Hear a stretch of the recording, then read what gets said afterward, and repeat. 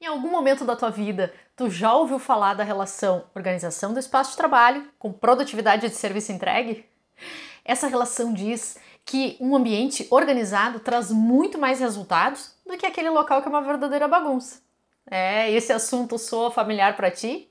Nós vamos falar hoje de 5S. Será que ele ainda é uma ferramenta que traz resultados para as empresas? Quer saber mais? Então vem comigo!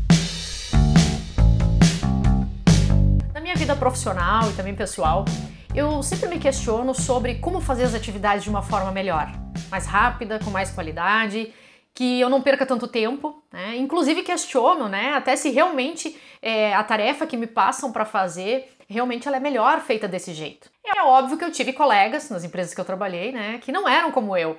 É, fazer as atividades sempre do mesmo jeito, ou lá no piloto automático, onde somente eles se achavam na bagunça deles, e quando na real eles estavam desperdiçando o tempo deles e o tempo dos demais colegas. Eu já fiz vários vídeos aqui sobre 5S aqui no canal.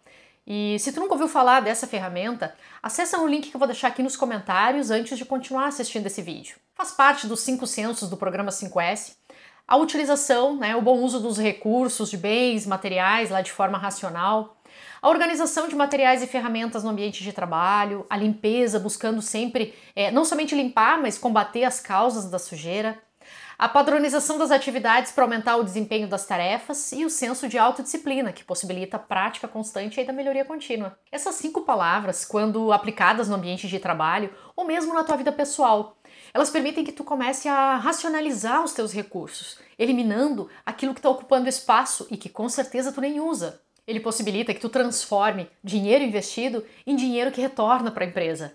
Ele converte o tempo disponível em tempo utilizado ou ainda num produto ou serviço que tu quer entregar. Permite a melhoria do teu desempenho, porque tu começa a aumentar a tua produtividade, tu começa a fazer mais entregas.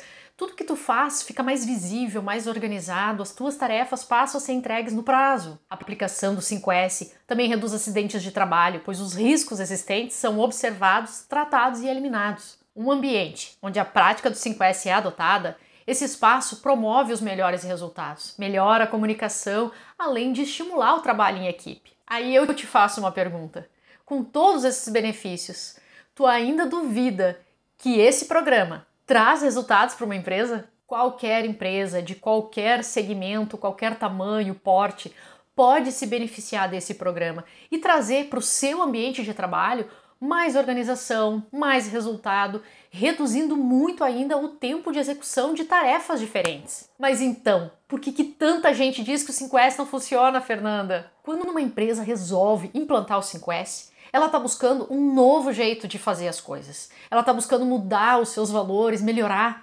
E é nesse cenário que, é claro, a gente vai encontrar resistência. Pessoas que não são proativas, que não estão dispostas a mudar, por isso, é um programa que exige o apoio e o acompanhamento incondicional da gestão.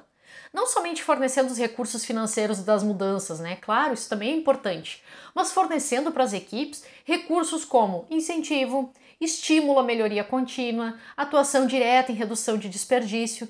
Ela precisa ser o um exemplo constante na prática, acompanhando os resultados através de indicadores de desempenho e principalmente entendendo que o 5S se trata de eficiência de processos só assim todos da equipe, principalmente aqueles que estão abaixo da gestão, vão entender que 5S não é uma coisa mais para fazer, mas sim uma forma de entregar todas as tarefas de forma eficiente.